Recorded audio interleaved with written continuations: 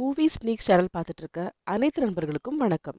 நாம இன்னைக்கு பார்க்க போகிற மூவி டூ தௌசண்ட் டுவெண்ட்டி டூவில் ரிலீஸ் ஆன Malayalam thriller movie night drive ஸ்க்ரீனில் பார்த்துட்டு இருக்க இவர் தான் நம்மளோட ஹீரோ ஜார்ஜ் இவர் வந்து ஒரு ஊபரில் டாக்ஸி டிரைவராக இருக்கார். ஸோ இவருக்கு வந்து ஒரு பாஸ் இருக்காங்க. அதுக்கப்புறம் கூட வந்து ஒர்க் பண்ணுற இன்னொரு லேடி இருக்காங்க. அண்ட் பர்டிகுலர் டே வந்து அந்த பாஸ் கோவா போகிறேன்னு கிளம்பிட்டு இருக்காரு அண்ட் வந்து அவருக்கு ஒரு லவர் இருக்காங்க. அவங்க வந்து மனோரமா நியூஸ் சேனலில் நியூஸ் ரீடராக இருக்காங்க. அவங்க பேரு ரியா. இவங்க ரெண்டு பேரும் ஸ்கூல் டேஸ்லேருந்தே ஒன்றா படிச்சுட்டு வந்தவங்க. ரியா வந்து ரொம்பவே சென்சேஷனலான ஒரு news reader and also reporter கூட. இப்போதைக்கு ட்ரெண்டிங்காக போகிறது வந்து அவங்க tourist minister Rajan group gold smuggling பண்ணுறாங்க அப்படின்ற நியூஸை கவர் பண்ணிட்டு இருக்காங்க. ஸோ அதனால அவங்க சேனலே டிஆர்பியில் நம்பர் ஒன்னாக இருக்கு. அந்த மினிஸ்டர் கிட்ட எல்லாரும் கேட்குறாங்க நீங்கள் ஸ்மக்லிங் பண்ணீங்களா? அப்படிலாம் கேட்கும்போது என்னோட வாழ்க்கை ஓப்பன் புக் நான் இது மேலே எதுவுமே பண்ணதில்லை. தேவையில்லாத கொஷின்ஸ்க்குலாம் நான் ஆன்சர் பண்ண வேண்டிய அவசியம் இல்லை அப்படின்னு சொல்லிட்டு போறாரு. ஸோ வீட்டுக்கு கிளம்பிட்டு இருக்க மினிஸ்டருக்கு சிஎம் கால் பண்ணுறாரு அவர் வந்து இவங்க ஸ்மக்லிங் பண்ணல அப்படின்றத நம்பவே இல்லை. அவர் சொல்கிறாரு டுவெண்ட்டி ஃபோர் ஹவர்ஸ் டைம் தரேன். நான் வந்து சிஎம் மட்டும் கிடையாது. போலீஸ் டிபார்ட்மெண்ட்டுக்கும் இன்சார்ஜ் உனக்கு தெரியும். ஸோ டுவெண்ட்டி ஃபோர் ஹவர்ஸில் நீ கிரியேட் பண்ண இந்த ப்ராப்ளத்தை நீயே சால்வ் பண்ணணும். இல்லைனா நீ ரெசிக்னேஷன் கொடுத்துட்டு போயிரு அப்படின்னு மிரட்டுறாரு. ஸோ நம்ம மினிஸ்டருக்கு என்ன பண்ணுறதே தெரியல. வீட்டுக்கு வரும்போது ஒரு போலீஸ் ஆஃபீஸர் சொல்கிறாரு சார் உங்களுக்கு இன்னொரு ப்ராப்ளம் இருக்குது உங்கள் வீடு உங்களோட ஆஃபீஸ் எல்லாம் நாளைக்கு வந்து என்ஐஏ செக் பண்ணுவாங்க. என்ஐஏ அப்படின்னா நேஷனல் இன்வெஸ்டிகேட்டிவ் ஏஜென்சி அவங்க வந்து செக் பண்ணாங்கன்னா கண்டுபிடிச்சிட்டாங்கன்னா இவங்களோட பதவிக்கு ஆபத்து. ஸோ இந்த இன்ஃபர்மேஷன் எனக்கு சீக்கிரட்டாக வந்திருக்கு சார் உங்களுக்கு நான் சொல்லிட்டேன் அப்படின்றாங்க. ஸோ இப்போ மினிஸ்டர் ரொம்ப ஒரு கிரிட்டிக்கல் சுச்சுவேஷனில் இருக்காரு. யார்கிட்ட ஹெல்ப் கேட்கறதுனே புரியல. அவர்கிட்ட ஒரு எயிட்டீன் கிலோ கோல்டு இருக்கு. அந்த கோல்டு பிஸ்கட்ஸ் என்ன பண்ணலாம் அப்படின்னு பார்க்கும்போது கூட இருக்க பிஏ சொல்கிறாரு எனக்கு தெரியும். நம்ம கட்சியில் இருக்க பாபு கிட்டே கொடுத்துடலாம். அப்படின்னு சொல்கிறாரு அவனை கொண்டு போய் எங்கேயாவது மறைச்சிக்க சொல்லுவோம் அப்படின்னு பிளான் பண்ணுறாங்க நம்ம ஹீரோ ஜார்ஜ் வந்து சாப்பிட்டு முடிச்சுட்டு கிளம்பிட்டு இருக்காரு. அப்போ அவருக்கு வந்து ஒரு கஸ்டமர் பிக்கப் பண்ண வேண்டியது இருக்குது அதனால ஒரு மாலுக்கு போய் ஒரு கஸ்டமரையும் அவங்களோட குழந்தைய பிக்கப் பண்ணுறாங்க அப்படி போகிற வழியில் பேசிகிட்டே போகிறாங்க இவர் வந்து மொபைலில் நியூஸ் பார்க்குறாங்க உடனே அந்த லேடி சொல்கிறாங்க நியூஸில் எப்போ பார்க்காதீங்க எங்களை ட்ராப் பண்ணிட்டு பாருங்க. நான் நியூஸ் பார்க்கல மேடம் அந்த லேடியை பார்க்குறேன் நியூஸ் ரீடர் என்னோட லவ்வர்னு சொல்கிறாரு ஓ வெரி நைஸ் அப்படின்னு அவங்க சொல்கிறாங்க வழியில் பேசிக்கிறாங்க. அப்போது அந்த குட்டி பொண்ணோட பேர் பிரியான்னு தெரியுது.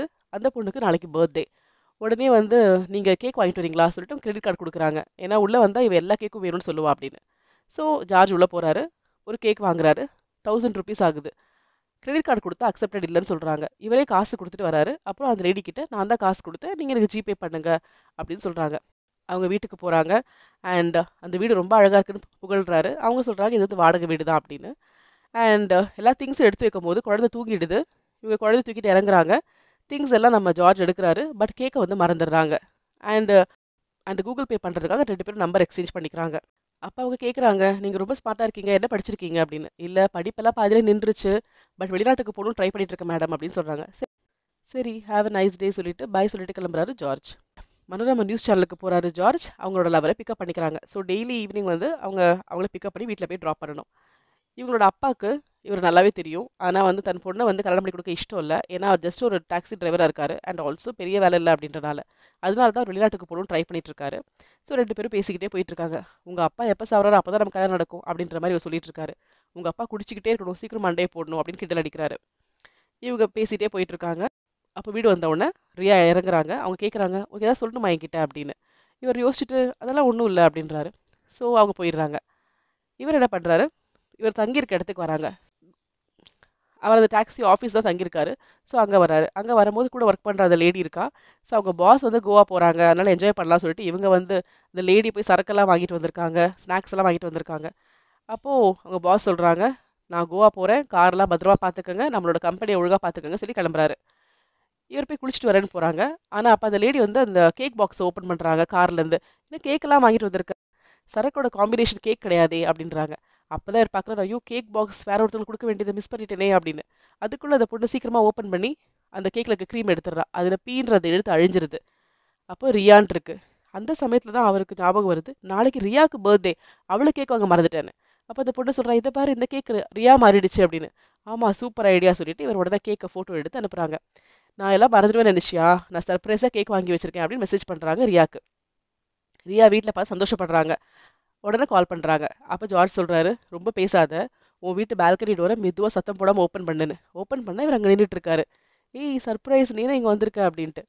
கேக்கெல்லாம் கொண்டு வந்திருக்காரு. அப்போ அவர் சொல்கிறாரு ஏன் நம்ம நைட் வந்து ஒரு லாங் ட்ரைவ் போகக்கூடாது? உங்கள் அப்பாவுக்கு தெரியாமல் சத்தம் போடாமல் ட்ரெஸ் மாற்றிட்டு வா. நம்ம போகலாம் அப்படின்னு. அவங்க ட்ரெஸ் சேஞ்ச் பண்ண போகிறாங்க இவர் மெதுவாக கீழே போய் பார்க்கறாரு அவங்க அப்பா நல்லா குடிச்சிட்டு இருக்காரு. அப்புறம் ரெண்டு பேரும் பூனை மாதிரி கார் டிரைவிங்கில் போயிடுறாங்க. நான் காரை ஓட்டுறேன் அப்படின்னு சொல்லிட்டு ரியா ஓட்டுறாங்க. அப்போ நைட் வந்து நிறைய இடத்துக்கு போய் சுத்திட்டு இருக்காங்க. நல்ல நல்ல ஸ்நாக்ஸ்லாம் சாப்பிட்டுட்டு இருக்காங்க. அழகா எல்லா இடத்தையும் விசிட் பண்ணிட்டு இருக்காங்க. அப்படி போயிட்டே இருக்காங்க.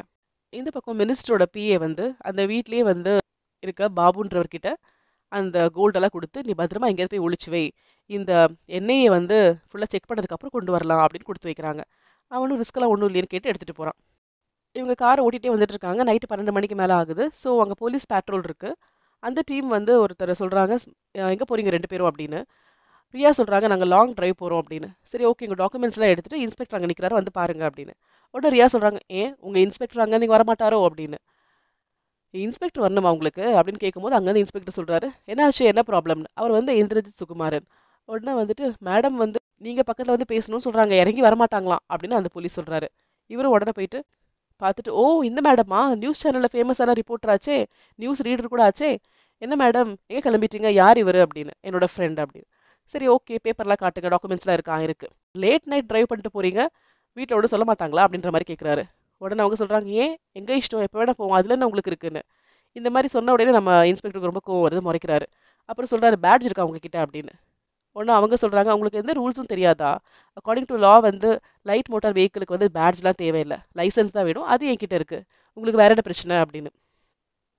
எல்லாரும் லா பற்றி ரொம்ப பேசுகிறாங்களே அப்படின்னு. எங் எங்களுக்கும் எல்லாம் தெரியும் சார் ரெண்டா செக் பண்ணிக்கோங்க அப்படின்னு அக்கெல்லாம் சொல்கிறாங்க அவங்க. இவருக்கு ரொம்ப கோவம் ஆகுது. சரி கிளம்புங்க அப்படின்றாங்க. அப்போ அவங்க சொல்கிறாங்க அது எப்படி டக்குன்னு கிளம்ப முடியும்? இவ்வளோ நேரம் எங்கள் டைம் வேஸ்ட் பண்ணி ஆர்கியூ பண்ணீங்கல்ல? எங்கிட்ட ஒரு சாரி சொல்லுங்கள் அப்படின்னு கேட்குறாங்க உடனே அவங்க லவர் வந்துட்டு ஏன் அமைதியாக வா. தேவையில்லாம ஏன் பிரச்சனை பண்ணுறேன் அவரே சும்மா இருந்தாலும் ஓவரா பண்ணுற வா வண்டியில ஏறுன்னு. சாரி சார் சாரி சார்னு நம்ம இன்ஸ்பெக்டருக்கு சாம கோவம் வருது. அவங்க போய் காரில் உட்காடுறாங்க இவர் பக்கத்தில் போயிட்டு இருங்க மேடம் நீங்கள் ஆசைப்பட்டு கேட்டதை சொல்கிறேன் ஐ எம் ரியலி சாரி அப்படின்னு சொல்கிறாரு இதெல்லாம் நடக்கும்போது சுற்றி இருக்க மக்கள்லாம் வந்து விசில் அடிச்சுக்கிட்டு வீடியோ எடுத்துகிட்டு இருக்காங்க. ஸோ இவங்களால் எதுவும் ரியாக்ட் பண்ண முடியல. அதனால அமைதியாக விட்டுறாரு. அவங்க வந்து நக்கலாக சிரிச்சுட்டு ஜாலியாக போகிறாங்க லவர் சொல்கிறாரு என்ன உனக்கு அவ்வளோ கொழுப்பு? தேவையில்லாம பிரச்சனை பண்ணுற உனக்கு ஒழுங்காக இருக்க முடியாதா? ரொம்ப விலைக்கு வாங்குற? அப்படின்னு. ஏன்? அவனுக்கு என்ன வந்தது? நீ யாருன்னு கேட்குறான் இத்தனை நைட்டுக்கு ஏன் போகிறேன்னு கேட்குறான் ஏன் லேடிஸ் எல்லாம் நைட்டு போகக்கூடாதோ? அப்படின்னு. நீ அமைதியாக இரு. இறங்கு கீழே. நான் வண்டியை ஓட்டுறேன் அப்படின்னு. முடியாது. எல்லா பாய்ஸும் ஏன் ஒரே மாதிரி இருக்கீங்க? ஆம்பளைங்க தான் ரொம்ப உயர்வானவங்களா? அப்படிலாம் கேட்டு சண்டை போட்டே வரும்போது அவங்க எதிரில் பார்க்கல.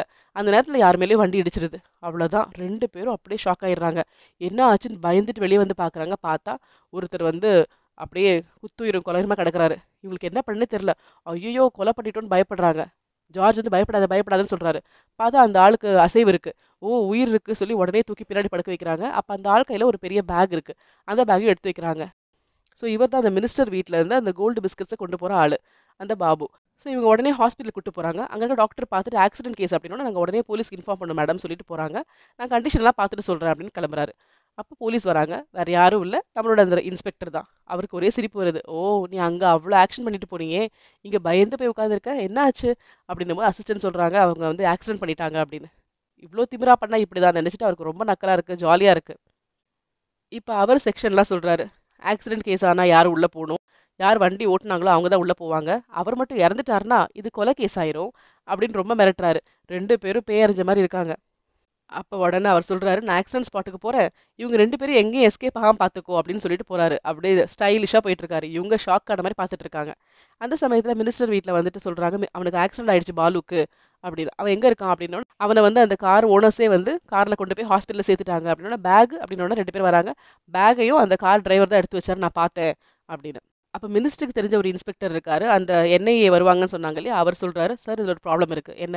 அந்த காரில் வந்து மனோரமா நியூ நியூஸ் ரீடர் இருக்காங்க இல்லையா உங்கள் பிரச்சனையை வெளியே கொண்டு வந்தாங்களே. அந்த லேடி அதில் இருக்காங்கன்னு இது கேட்டோட மினிஸ்டருக்கு ரொம்ப பிரச்சனை ஆகுது. மினிஸ்டர் சொல்கிறாரு ஐயோ அந்த பொண்ணு அந்த பொண்ணு அந்த கோல்டை பார்க்கவே கூடாது. ஆனால் நான் ஒரு ஐடியா பண்ணுறேன் ஏன்னா என்ன மாட்டிட்டு அந்த பொண்ணு தான். நீ என்ன பண்ணுற எப்படியாவது போயிட்டு அந்த இன்ஸ்பெக்டரை வச்சு அந்த காரை வந்து ஃபுல்லாக தேடணும். தேடி அந்த கோல்டை கண்டுபிடிக்கணும். கோல்டை கண்டுபிடிச்சி இவ தான் ஸ்மக்லிங் காரணம்னு சொல்லணும். ஸோ என்ன மாட்டி விட்டு அவளோட காரில் கோல்டு பிஸ்கெட் இருக்குன்னா அவள் மாட்டுவா. நான் அவளோட மானத்தை வாங்கணும். எப்படி? என்ன அசிங்கப்படுத்தினால அவளை அசிங்கப்படுத்தணும். சீக்கிரமாக போய் செக் பண்ணு அப்படின்றாங்க. ஸோ ஆக்சிடென்ட் பண்ணிட்டாங்கன்னு சொல்லிட்டு இவங்ககிட்ட சைன்லாம் வாங்கிட்டு இருக்காங்க. அந்த நேரத்தில் டாக்டர் வராரு. நாங்கள் நல்லா செக் பண்ணிட்டோம். நீங்கள் கவலைப்படவே வேண்டியதில்லை. அவர் வந்து பிழைச்சிப்பார். ப்ளஸ் நீங்கள் ஆக்சிடென்ட் பண்ணதுக்காக ஒன்றும் அவருக்கு அடிபடலை. அவருக்கு அதுக்கு முன்னாடியே முன்பக்கமும் பின்பக்கமும் வாழ்நாள யாரோ வெட்டியிருக்காங்க. உங்கள் கார் அவர் மேலே மோதக்கூட இல்லை.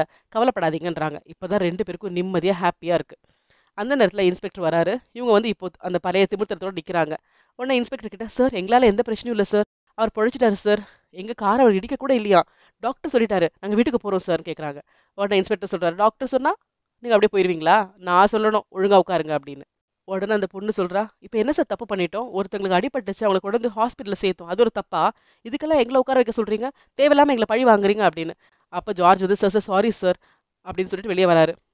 அப்போ இன்ஸ்பெக்டர் சொல்கிறாரு இவ்வளோ நேரம் பூனை மாதிரி இருந்தவங்களுக்கு அப்படி தைரியம் வந்துருச்சு போல இருக்கே அப்படின்னு நக்கலா சொல்கிறாரு இந்த காரை அவங்களோட போய் நிறுத்து அப்படின்னு அசிஸ்டண்ட்டை சொல்கிறாரு அதனால இவர் என்ன பண்ணுறாரு நான் போய் அந்த காரில் இருக்க திங்ஸ் எல்லாம் இதாக இருந்தால் நாங்கள் எடுத்துக்கிறோம் நீங்கள் காரை கொண்டு போங்க சொல்லி அந்த காரை ஓப்பன் பண்ணுறாங்க ஓப்பன் பண்ணி அதில் என்னென்ன திங்ஸ் இருக்கு மொபைல் பர்ஸ் எல்லாம் எடுக்கும்போது பார்த்தா அந்த பேக் இருக்குது இது என்ன பேக் ஓ அடிப்பட்டவரோட பேக் இல்லை அப்படின்னு சொல்லிட்டு அதை ஓப்பன் பண்ணால் கோல்டு பிஸ்கட் அவ்வளோதான் ரெண்டு பேரும் ஷாக் ஆகுறாங்க. இது காரில் கண்டுபிடிச்சா நம்ம நிலைமை என்ன ஆகும்னு தெரியுது. அந்த நேரத்தில் கரெக்டாக வந்து மினிஸ்டர் கூட தொடர்புடைய அந்த ஆஃபீஸர் வராரு. அவர் நம்ம இன்ஸ்பெக்டரோட சீனியர் ஆஃபீஸர் அவர் உடனே வராரு. வந்துட்டு அந்த ஆக்சிடென்ட் பண்ணவங்க எங்கே எங்கன்னு? அவங்க ரெண்டு பேரும் வெளியே போயிருக்காங்க அப்படின்னு. எங்கே அவங்க? அவங்க ரொம்ப கெட்டவங்க. எனக்கு நிறைய இன்ஃபர்மேஷன் வந்திருக்கு. வா காரை செக் பண்ணலாம் அப்படின்றாரு. நம்ம இன்ஸ்பெக்டர் ஒன்றுமே புரியல. கார் செக் பண்ணுங்கிற போது ஓகே அப்படின்னு போய் செக் பண்ணுறாங்க காரை செக் பண்ணால் எதுவுமே இல்லை. அந்த போலீஸே வந்து ஃபர்ஸ்ட் போயிட்டு உள்ள போய் எல்லாம் செக் பண்ணுறாரு அந்த பேக்கே இல்லை. அவருக்கு என்ன சொல்கிறதே தெரில ஏன்னா இங்கே ஒரு பேக் இருக்கான்னு கேட்க முடியாதுல்ல. அவர் திருட்டு முடி முழிக்கிறாரு. ஒன்றும் புரியல அவருக்கு. அவர் அந்த இன்ஸ்பெக்டர் கிட்ட சொல்கிறாரு இவங்க ரெண்டு பேரும் விட்டுறாதீங்க. இதில் ஏதோ பெரிய பிரச்சனை இருக்குது அதனால உள்ளே பிடிச்சி வைங்க. அப்படி சொல்லிட்டு திரும்பி நடக்கிறாங்க ரெண்டு பேரும். அப்போ அந்த காரை போலீஸ்காரங்க எடுத்துகிட்டு போகிறாங்க எடுத்துகிட்டு போனால் அந்த காருக்கு அடியில் தான் அந்த கோல்டு பிஸ்கட் இருக்குது ஏன்னா அவங்க அந்த பேக்கை அடியில் தள்ளி விட்டாங்க.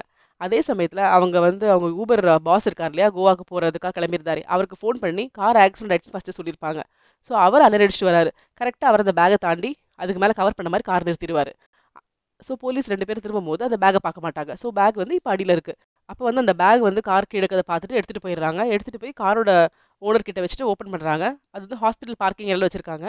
அப்போ ஃபுல்லாக கோல்டு பிஸ்கட் பார்க்கறாங்க இப்போ அந்த ஊபர் காரோட பாஸ் சொல்கிறாரு நீங்கள் சேனல்லாம் ஒன்றும் சொல்ல தேவையில்ல. இது யாருக்கும் கொடுக்க தேவையில்ல. இது நம்மளே நம்ம பிஸ்னஸ்க்கு யூஸ் பண்ணிக்கலாம். பங்கு போட்டு பிரிச்சுக்கலாம். அப்படின்னு சொல்லிட்டு இருக்காரு. அப்பதான் அந்த பேக்லேருந்து ஒரு செல்ஃபோன் ரிங் ஆகுது. இவர் எடுத்து பார்க்குறாரு ஜார்ஜ். பார்த்தா அவர் வந்து ஃபர்ஸ்ட் ஒரு லேடிக்கு ரைட் கொடுத்துருப்பாரு இல்லையா? நாளைக்கு வந்து குழந்தைக்கு பர்த்டே இருக்குன்னு சொன்னாங்களே. அந்த லேடியோட ஃபோட்டோ வருது. ஸோ அந்த லேடியோட ஹஸ்பண்ட் தான் இப்போ அடிபட்டிருக்க பாபு. அண்ட் உடனே அவங்க எல்லாருமே அந்த லேடியோட வீட்டுக்கு போகிறாங்க அந்த லேடி நினச்சிப்பாங்க ஓ நீங்கள் கேக் எடுத்துகிட்டு போயிட்டீங்க திருப்பி கொடுக்க வந்திருக்கீங்களா? அப்படின்னு. அப்போ இவங்க ஒரு விஷயம் உங்ககிட்ட சொல்லணும் அப்படின்னு சொல்லி உங்கள் ஹஸ்பண்டுக்கு ஆக்சிடென்ட் ஆயிடுச்சு கொண்டு போய் நாங்கள் சேர்த்துருக்கோம் அப்படின்னு சொல்லுவாங்க. ஸோ அவங்கள கூட்டிகிட்டு ஹாஸ்பிட்டலுக்கு வராங்க. ஹாஸ்பிட்டலில் இந்த மூணு பேரையும் காணாமல் போனோன்னா அந்த பொலிட்டிஷியன் கூட இருந்த போலீஸ் ஆஃபீஸர் ரொம்ப கோவப்படுவார். என்ன? நம்ம இங்கே பேசிகிட்டு இருக்கோம். அந்த மூணு பேரையும் காணும். அவங்க வந்து தப்பானவங்க. அவங்க பாரு ஓடி போயிட்டாங்கன்னு கோவப்படுவாங்க. முதல்ல கண்டுபிடிங்க அவங்களன்னு. அதுக்குள்ளே பார்த்தா அவங்க எல்லாருமே வந்துருவாங்க. அண்ட் இந்த லேடியை காட்டிட்டு சொல்லுவாங்க இவங்க வந்து அடிப்பட்டவரோட ஒய்ஃபு அவங்களுக்கு கூட தான் நான் போயிருந்தேன் அப்படின்னு. அண்ட் அந்த லேடி ஐசியூக்கு போயிடுவாங்க அதே சமயத்தில் ஜார்ஜ் கிட்ட நம்ம இன்ஸ்பெக்டர் கேட்பாரு ஆக்சிடென்ட் ஆனது யாருன்னே தெரியாது. ரோட்ல பார்த்தேன் அப்படின்னு சொன்னேன். இப்போ பார்த்தா ஒய்ஃப் எல்லாம் கூட்டிட்டு வந்துருக்க உனக்கு எப்படி தெரியும் அப்போ அவன் சொல்லுவான் ஈவினிங் வந்து கார் ஓட்டிட்டு போகும்போது இந்த லேடி தான் என்னோட பேசஞ்சராக வந்தாங்க.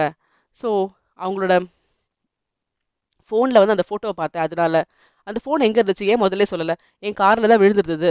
நான் சொல்ல மறந்துட்டேன் அப்படின்னு சொல்லுவார். அப்போ நம்ம இன்ஸ்பெக்டருக்கு ஒரு டவுட் வரும். அவர் பார்ப்பாரு இந்த கார் நின்றுட்டு இருந்த இடத்துல மேலே ஒரு சிசிடிவி கேமரா இருக்குது அதனால இவர் என்ன பண்ணுவார்? அதை ஃபுல்லாக ஹாஸ்பிட்டல் ஸ்டாஃப் கிட்ட கேட்டு ஃபுல்லாக பார்ப்பாரு பார்க்கும்போது அவங்க ஒரு பேகை வந்து கார் கடியில் மறைக்கிறதும் அந்த பாஸோட காரில் எடுத்துகிட்டு போகிறதும் பார்க்குறாங்க அந்த பேக் யாரோடதுன்னு கேட்குறாரு உடனே ஜார்ஜ் சொல்கிறா அது என்னோட பேக் தான் அப்படின்னு. இன்ஸ்பெக்டர் வந்து அப்படியா அதை ஓப்பன் பண்ணி காட்டுங்க சார் அதில் ஒன்றும் இல்லை சார். பரவாயில்ல ஓப்பன் பண்ணி காட்டுங்கன்னு. ஓப்பன் பண்ணால் ஃபுல்லாக ட்ரெஸ் தான் இருக்கு. அப்போ இன்ஸ்பெக்டருக்கு புரியுது ஏதோ மறைக்கிறாங்க அப்படின்னு. நம்ம இன்ஸ்பெக்டர் வந்து இவங்க எல்லாரையும் ஸ்டேஷன் கொண்டு போயிடுறாங்க. மரியாதையாக கேட்குறேன் லாஸ்ட் டைம் கேட்குறேன். அந்த பேக்கில் உண்மையாக என்ன இருந்தது சொல்லுங்க. இவங்க அதே போய் சொல்கிறாங்க அப்போ உடனே அவர் என்ன பண்ணுறாரு சிசிடிவி ஃபுட்டேஜை காமிக்கிறாங்க. இப்போ சொல்லுங்க அப்படின்னு கேட்குறாங்க. அப்போ நம்ம இன்ஸ்பெக்டருக்கு வந்து ஒரு கால் வருது ஹாஸ்பிட்டல்ல இருந்து. அந்த பாபுவுக்கு நினைவு திரும்பிடுச்சுன்னு. உடனே அவர்கிட்ட ஸ்டேட்மெண்ட் வாங்குறதுக்காக போறாரு. நீங்களாம் போலீஸ் ஸ்டேஷனில் இருங்க அப்படி சொல்லிட்டு கிளம்புறாரு. அப்போ பாபு கிட்ட அவர் சொல்கிறாரு உங்களுக்கு இந்த மாதிரி அடிபட்டிருக்கு. உங்கள் முன்னாடி பின்னாடி வந்து வாளில் கட் பண்ணியிருக்காங்க அண்ட் உங்களுக்கே தெரியும் உங்கள் பேக்கில் என்ன இருந்ததுன்னு. என்கிட்ட மறைக்காமல் சொல்லுங்க அந்த பேக் எங்கிட்ட தான் இருக்குது அப்படின்றாரு. ஸோ நம்ம பாபுக்கு விஷயமே தெரியாது இல்லையா? அவர் சொல்கிறார் சார் என்ன மன்னிச்சிருங்க சார். அதில் பதினெட்டு கிலோ கோல்டு பிஸ்கட் இருந்ததுன்னு. இப்பதான் நம்ம இன்ஸ்பெக்டர் உண்மை தெரியுது. எல்லாத்தையும் எங்கிட்ட சொல்லுங்கன்னு ரெக்கார்ட் பண்ணுறாரு அப்போ அவர் சொல்கிறாரு இந்த ராஜன் குரூப் இருக்கார் இல்லையா? அந்த மினிஸ்டர் வீட்டில் தான் நான் இருந்தேன். தட் மீன்ஸ் அவரும் எங்கள் அப்பாவும் சேர்ந்து தான் இந்த கட்சியை ஆரம்பிச்சாங்க. எங்க அப்பா சின்ன வயசுல இறந்து போயிட்டாரு. அப்ப அவரு என்ன தன் பிள்ளை மாதிரி வளர்த்தாரு. நானும் அவர் அப்பாவை நினைச்சேன். கல்யாணம்லாம் அவர் தான் பண்ணி வச்சாரு. ஆனா கடைசியில் எனக்கு ஒரு விஷயம் தெரிஞ்சது. இந்த கோல்டெல்லாம் நான் மறைச்சு வைக்கணும்னும் போது நான் எடுத்துட்டு போயிட்டு இருந்தேன். அப்ப எனக்கு ஒரு வீட்ல இருந்து கால் வந்துச்சு. அவர்கிட்ட ஒர்க் பண்ற இன்னொருத்தர் இருக்காரு. அவர் ஃபோன் பண்ணி நீ சேஃபா போ. நீ கோல்டை பாதுகாக்கிறன்னு உன் உயிரை விட்டுறாத. உன்னை கொலை பண்றதுக்காக தான் அனுப்பியிருக்காங்க. உன்னை பலிகடை ஆக்கியிருக்காங்க. கோல்டை நீ எடுத்துட்டு போவ. அதே சமயத்துல உன்னை ரெண்டு பேர் வந்து கொலை பண்ணி அந்த பேக் எடுத்துட்டு போயிடுவாங்க ஒன்று அழிக்கிறதுக்காக நம்ம மினிஸ்டர் முடிவு பண்ணியிருக்காரு அப்படின்னு இன்ஃபர்மேஷன் கொடுத்துருப்பாரு. இது கேட்ட உடனே தான் அவர் பயந்து அலறி அடிச்சுட்டு டேரக்ஷன் மாற்றிட்டு போவார். ஆனால் அதுக்குள்ளே அவரை ஃபாலோ பண்ண ரெண்டு பேர் பின்னாடியே வருவாங்க. அவங்ககிட்ட தப்பிச்சு இவர் போகும்போது வாள் வச்சு முன்னாடி பின்னாடி வெட்டு விழுந்துரும். அங்கேருந்து ஜம்ப் பண்ணி ஓடும் போது தான் இந்த காருக்கு முன்னாடி வந்து விழுந்துடுறாரு. கார் அவரை இடிக்கல. ஸோ மயக்கம் போட்டு விழுந்துடுறாரு.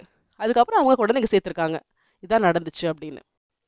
இந்த சமயத்தில் நம்ம மினிஸ்டர் கிட்ட போய் அந்த போலீஸ் சொல்கிறாரு சார் நம்ம போய் செக் பண்ணோம். நீங்கள் சொன்ன மாதிரி பேக்கே அந்த காரில் இல்லை சார் இப்போ என்ன பண்ணுறதுன்னு பேசுகிறாங்க அப்போ அந்த போலீஸ் ஆஃபீஸர் சொல்கிறாரு கவலைப்படாதீங்க சார் நம்மளோட இன்ஸ்பெக்டர் வந்து அவங்க ஸ்டேஷன் கொண்டு போயிருக்காங்க. நான் போய் விசாரிக்கிற விதத்தில் விசாரிக்கிறேன். அவங்கள அடித்து விசாரிச்சா பேக் எங்கே வச்சிருக்காங்க சொல்லுவாங்க.